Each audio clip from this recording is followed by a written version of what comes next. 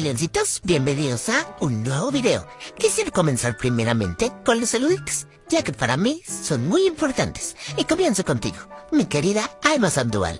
Quiero darte las gracias por siempre comentar con un lindo mensaje todos mis videos. Eso me pone muy contento. Les mando muchos abrazos a ti y a mis queridos amigos Max y Príncipe. También a ustedes, mis leoncitas, Gaby y Aime, les mando muchos, muchos besitos. Y espero se encuentren muy bien. Les mando saluditos y abrazos. A ti, David Martínez, te deseo que Dios te sorprenda con enormes bendiciones y que te llenen esas bendiciones de mucha, mucha alegría. Para ti, mi querido Osvaldo Daniel, te mando grandes y buenos deseos, cargados de besitos y saluditos. Y por último, a mi leoncita de corazón, Mafe Camargo, te deseo mucho éxito en todo lo que hagas. Pues eres una niña maravillosa y te lo mereces. Y ahora sí, mis queridos leoncitos, comenzamos con la receta. En esta ocasión vamos a cocinar una deliciosa pizza para toda la familia.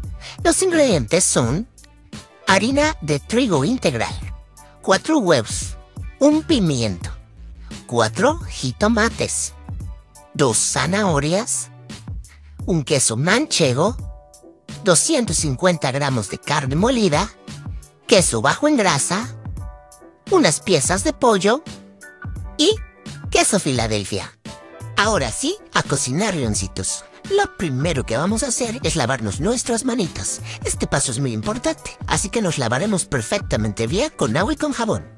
Paso 2. Hacer la salsa para perritos. Lavaremos con agua todas nuestras verduritas para después ir agregando una por una a un bowl para rociarle unas gotitas de bactericida. Pondremos en una olla agua purificada para ponerle a hervir mientras esperamos los 15 minutitos con el bactericida.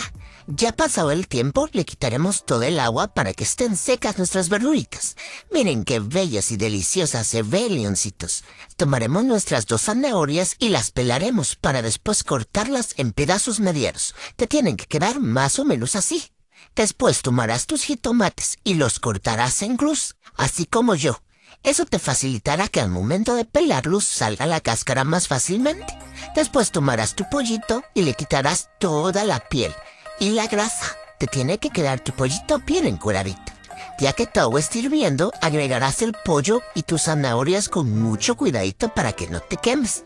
Y después de unos 15 minutitos, tu caldito de pollo y tus zanahorias estarán listas. Las separarás en un bol con tantito caldo de pollo y las llevarás a la licuadora para batirlas perfectamente bien. Ya que esté lista, la pondrás en un sartén a fuego bajo para que se espese.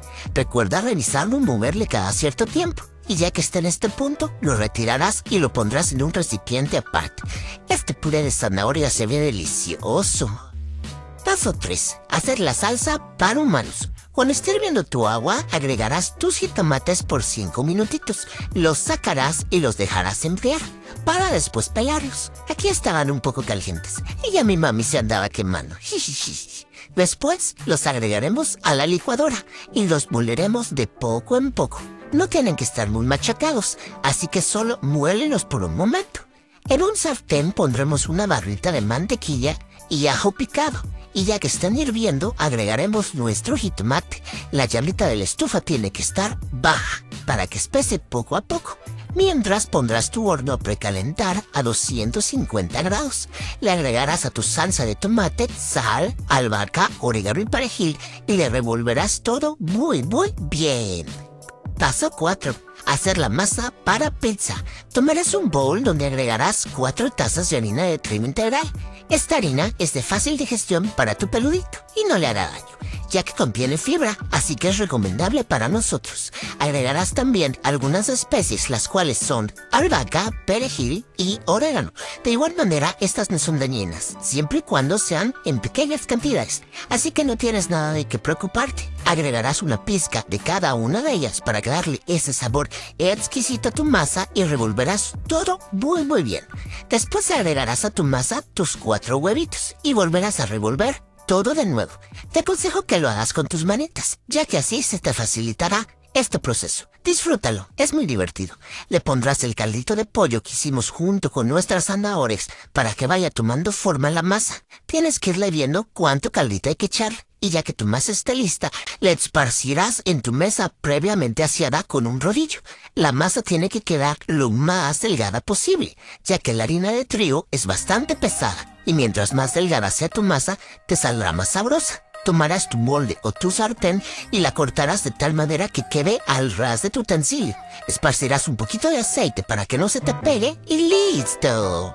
Paso 5. Decorarla. Esta opción es para tu peludito. Esparcirás el puré de zanahoria, el cual hicimos previamente en toda tu masa. Tu pizza tiene que estar toda cubierta. Cortarás tus pimientos morones quitándoles absolutamente todas las semillas y les pondrás el quesito bajo en grasa en tu pizza. Después el pimiento y finalizas con la carne molida. Y así es como te quedará esta deliciosa pizza para tu hermoso y bello peludito. Ahora es momento de meterla por 45 minutos a tu horno. Si no tienes horno, no te preocupes, puedes hacerla en un sartén con tapa, pero con tu lumbre lo más bajita posible. Se tardará un poco más y tendrás que revisarla cada cierto tiempo, pero te quedará exquisita.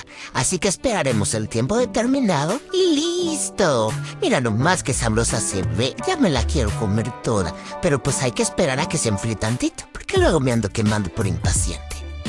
Para la pizza de humanitos necesitaremos primeramente engrasar nuestro molde les aconsejamos que la masa la hagan lo más delgada posible, ya que para el gusto de mi mami y de mi tía pudo haber estado más deliciosa si lo hubieran hecho mucho más finita. Así que esparzan su masa en la mesa con un rodillo hasta que quede muy pero muy delgada.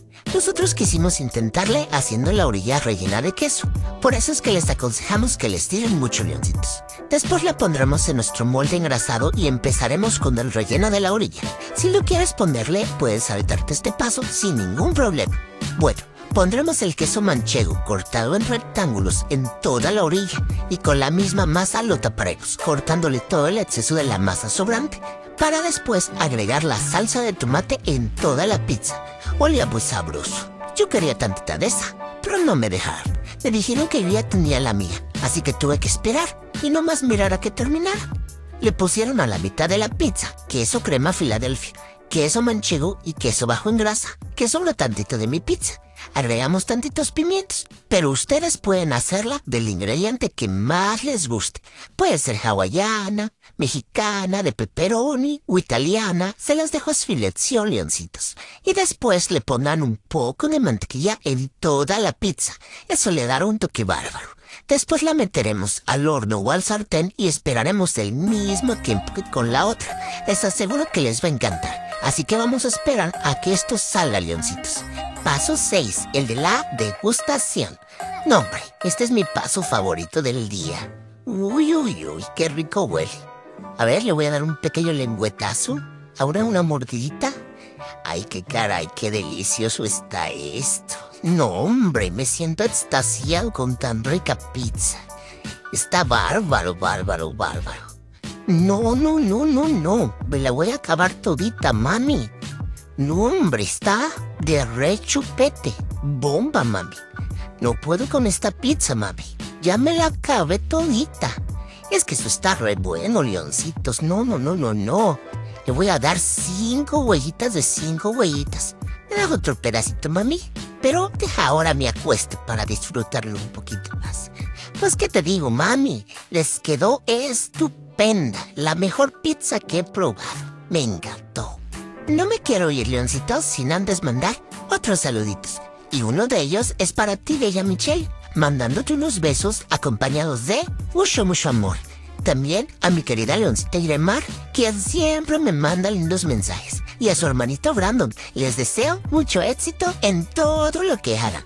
Para ti, mi preciosa Brenda, te mando abrazos con todo mi cariño y amor. Te quiero mucho, Leoncita. A ti, querida Abigail, te lleno de todo mi afecto, agradeciéndote por formar parte de esta gran familia. Y finalizo contigo, Polo Mesa, dándote mi amistad y mi corazón reflejado en muchos abrazos. Y ahora sí, terminamos con este video, leoncitos. No se olviden de compartir y darle like si les gustó esta receta. Los amo mucho. Adiós, leoncitos.